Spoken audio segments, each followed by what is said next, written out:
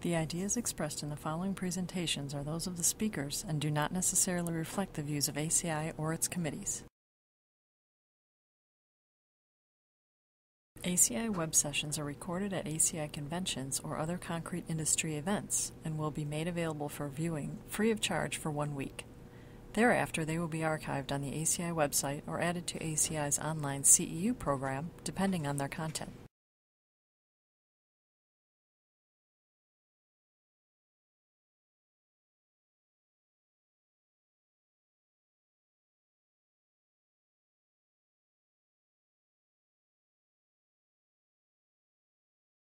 I'm David Shook with SOM. This will be a joint presentation with Eric Peterson with Webcor. And I'd just like to start off with saying that this was a really uh, successful project, and I think it was successful because of the very strong coordination and collaboration between the structural engineer and the contracting team. So we'd like to go over some of that today. I'll start off with some generalities about the building, and then we'll get into more specifics about the floor design and construction. 350 Mission is in the Transbay District of San Francisco. It's the first new office building built in San Francisco in some time. It's the first new LEED Platinum building in San Francisco as well, so there's a very strong sustainability focus. As you can see, it's about a 30 story building, but it has a very tall lobby. It's about 50 feet. It's considered kind of the entry from the uh, Transbay terminal into the financial district, kind of welcoming, welcoming people as they come in for their work every day. These are some renderings. These are some construction photographs. Uh, the building is substantially complete and tenants are doing their move in improvements. Uh, this photo was taken maybe about six, nine months ago. You can find it on Google Earth. I found it interesting that they had a really nice photograph, but on Google Earth they're very centered on the building. The facade is all glass, just as an architectural comment. It's kind of funny. It's kind of considered a mockery of all the buildings around it, architectural, because it's all glass and all these other ones are precast. All the ones around it our SOM buildings as well. So we're kind of making fun of ourselves. The structural system is the seismic system, which we won't focus on today, but it's a performance based core only system.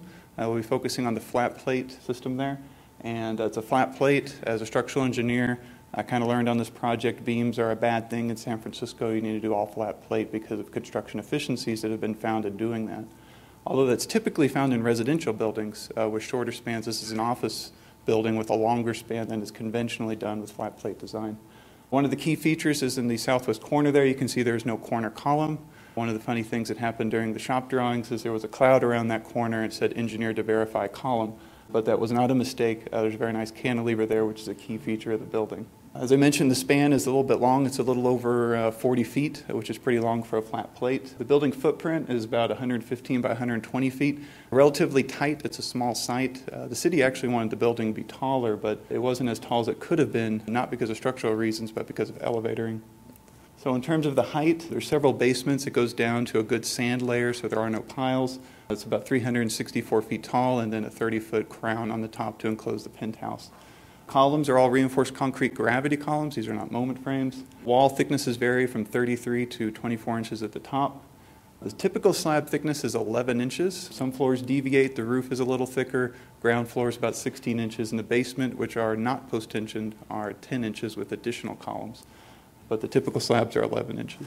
So here's a section through the floor plate, um, giving you a feel of scale. The floor to floor is about 13 foot 2, which allows for almost 11 foot clear, which is quite generous and there is a raised floor system. If you're not familiar with raised floor systems, you have your slab, you have some pedestals, and then there are some elements put on top of that that you actually walk on. And that allows for mechanical, electrical, and ductwork to travel underneath the raised floor to where they need to be. And there, that plays actually a key role into some of the decision making on this project. At the uh, corners, we have this upturned beam to satisfy the cantilever condition, and we actually had to make penetrations through that so that ductwork could actually get through there. So there was very close coordination on the design side and the contractor side to make that successful. So the focus of the presentation will be on the long span flat plate. The loading on that is conventional code live loads. Uh, the superimposed loads were based on the actual raised floor and the MEP, so those were kind of fine tuned. They weren't very conservative, they were fine tuned for what was there. The design strength of the slab was 5,000 psi and grade 60 rebar all around, but because of seismic issues, we have to use 706 anytime a slab rebar goes into a wall or a column for ductility. Early on in the conceptual design, we were looking at what the post-tension layout would be. Post-tension layouts are very well understood when you have regular column patterns, but when you have a center core and perimeter columns, it can get rather difficult. So this is, uh, I don't want to spend much time on it, but it's an optimization algorithm that helps us understand where we want to have stiffer material and when we want to have less material, and that helps us understand load path. So we see much of it is actually one-way behavior, even though we called it two-way slab. But in the corners, we see something interesting with some of these diagonal elements that started appearing in the optimization, it actually inspired us to put some diagonal post-tensioning in there, which was a little bit controversial on the contractor side, but it really helped alleviate the quantities because it was much more efficient. Deflections, just a feeling of scale. Uh, usually you have your L over 240 to L over 480, depending on the finishes and the conditions. For these spans, that could be one to two inches, uh, but what's important to know is the architectural finishes cannot accommodate that. Usually partitions can accommodate three quarters of an inch deflection because of the head assembly on the top of the partition. So as an engineer, we had to be very close with our architects. If you're not familiar with SOM, the engineer and architects are in one firm to make sure that that was well coordinated, also with the exterior wall.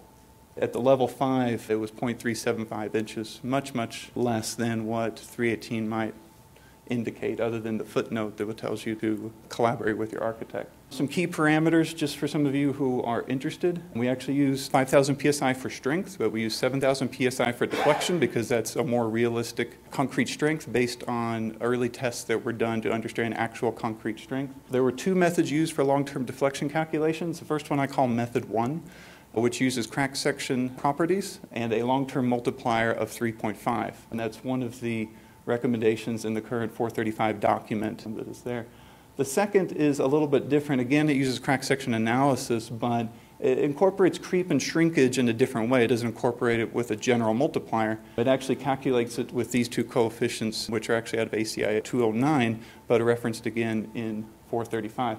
The design software was SAFE out of CSI, but because of the sensitive nature of this project, we actually did a complete validation model in another software. And when we have sensitive designs, that's our standard practice. This is just an excerpt from 435, as I mentioned, where we got some of these parameters run for the design. So on the left is a construction sequence schedule. The important thing is that we were coordinating with the architect on what the installation of finishes would be and estimating what the deflection would be at that time. On the right is a, the typical curve out of uh, 318 and other documents regarding creep. We knew that the raised floor should be installed about 90 days after casting, and from that three months, that would be about half of the creep would have occurred at that time. Rebar in some areas is very dense. The corners of the core gets up to number nine at six inches. That's very tight and very large. At the columns, smaller bar but tighter spacing. There is top steel compression reinforcement and there is no uniform reinforcement, which means we had to look at every single section and the design quite closely. We couldn't just rely on uniform top and bottom bars. And it was about 3.7 pounds per square foot. That's a little on the heavy side, typically because residential buildings are typically where you see flat plate. In a residential building, you should be closer to 2.5 pounds per square foot. But with this longer span, the quantities are a little bit higher. For the post-tensioning, there was about 1.3 pounds per square foot of PT. Again, relative to a residential building, it's a little high, but for considering the span and conditions, we think that's actually quite efficient. Usually on a residential building with a 30-foot span, you'd be around 0.9 pounds per square foot. Unbonded, half-inch tendons, fully encapsulated, and they go through the columns and the walls. So this was not leading core necessarily because it was floor, slab, floor, slab. It was not leading core. I won't spend much time on it, but because of the sustainability focus, we actually calculated the embodied carbon of the concrete and compared to a more traditional method, we saved quite a bit of concrete and eliminated quite a bit of CO2. There's other publications that discuss this I can reference you to. The key, this is some uh, shots of the analysis model, and the center one is the main one I want to point out, and we actually model the rebar as objects in the analysis. That's not commonly done, but it does help both with deflection calculations through crack section analysis and also with creep, because we're actually looking at the top rebar that's actually there, and it's not a gross generalization. It's just some loading diagrams. This is starting getting to the deflection. So on the far left, you'll see the self-weight deflection. At the top left corner there, you see is we have the highest deflection, not at the cantilever. Uh, the cantilever is actually quite stiff, and it has a rotational stiffness, which was considered in the floor design, which is why you see less deflection on the bottom side than the top side. So the actual controlling case was up there where you see the purple area there. So under self-weight, it would go about 0.7 inches immediate elastic. Superimposed loads that were relatively light at about 17 pounds per square foot, so you don't see much deflection there. The live load, you see about 0.3 inch. That's all immediate elastic. If we do self-weight plus PT, that's a kind of general look at how much are we balancing from the deflection side as opposed to the moment side, which we do like to look at. You can see it's not a fully balanced slab. If this was a fully balanced slab, that deflection would be about 0.1, and usually that's what I aim for in new design. But this one's a little bit different. In order to get to 0.1 inches with self-weight plus PT, we probably need about two pounds per square foot, which is not a very economical design. On the left, you see the effect of cracking that that has on the deflections and how important it is to consider an adjusted moment of inertia relative to the cracking when you're doing your deflection design. These are the two results from those two methods for long-term total deflection. These, if you don't do a lot of slab design, these are very large numbers, okay? Two and a half to two inches of movement. Most engineers, and we were, a little bit nervous about that at first. The left side again uses that general multiplier of 3.5 for the creep. The right side uses those creep and shrinkage values. Both of them we consider valid, both of them we use in design. I wouldn't consider one right over another. As an engineer, we think these are both valid methods. The one on the left is used more often, uh, the one on the right is used less. Uh, the one on the right I consider more appropriate for irregular support conditions because of the way it handles creep. So if we look at the amount of deflection after the installation of non-structural components, looking at the construction schedule, we can see the amount of deflection on the right, which is one we're using as our basis of design, was about one inch. We wanted that to be three quarters, so that's pretty close to that. It just gets a little over there at that one spot. This is going to transition from the design side to the construction side. And this is a floor plan where we actually worked together with Eric Peterson, who gave us the shoring post layout. And we actually needed to move towards not only having post tension, but also having camber. As I said before, the post tensioning does not fully balance the self weight, so there's also an element of camber involved. For the young engineers in here, take caution in doing that. That's not normally done. But for this particular project, it was very carefully coordinated and executed pretty well. So this is a, an overlay of the shoring post locations and the deflection diagram. And we actually coordinated with Eric and his team the actual camber value at each shoring post, which was a very close coordination and very well executed, I think. So with that, I'd like to turn over to Eric to talk about the constructability. So the cambered floors began at level six.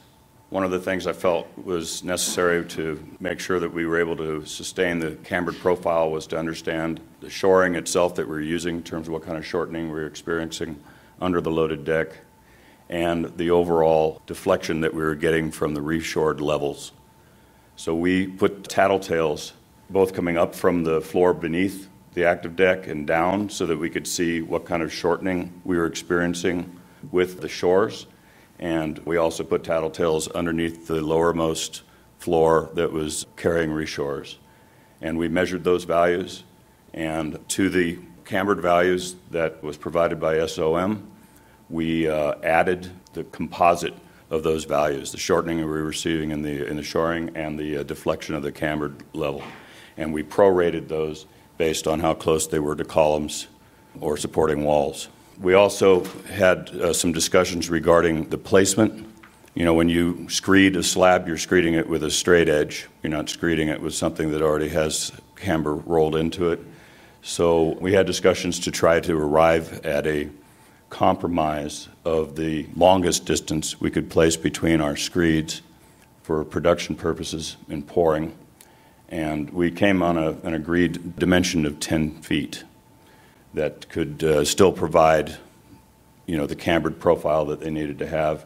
We struck off perpendicular. So here again, I mean, if we had screeded the area on the top of this image in an up and down direction, we could have achieved maybe a little bit of better profile but that's not the way we wanted to pour the slab because we needed to start vertical operations as soon as we finished pouring. We had a temporary shut off here, and we also had a temporary shut off at third span in here. And we started placing here, going around this way, completing here. And so the screed direction wanted to be this way. And so we, again, we discussed all of this with SOM before we established what we were going to do. And the first slab, it was necessary to, to get all these initial measurements in terms of movement. These were the tolerances that ACI 117 provides and the tolerances that were inserted into the contract. I actually joined this project when the building was reaching ground level, and these values were already in the contract at the time I was involved, I think we would have had a little bit more of a discussion on these values if I had a chance earlier on. But, you know, SOM understood and, and we worked pretty well together moving forward. And then this just shows the, the shoring. Basically, we have a drop head shoring system where the shore stays in contact with the slab. We were using deck panels, and this just kind of shows the location that you've already seen. There's not much to convey there. This is a photograph of us about an hour and a half into the pour at the northeast side of the slab. And I guess the only thing to point out here is that we have the screeds in place. This flag indicates that we've already graded this, and that's where the next screed will move to. Just gives you an idea of how we were forming the upturned beams. We've got the columns ready to drop down and be placed later on after the slab attains enough strength to start walking on. That's just a picture of what the PT looks like going through the columns and with the headed studs next to the columns.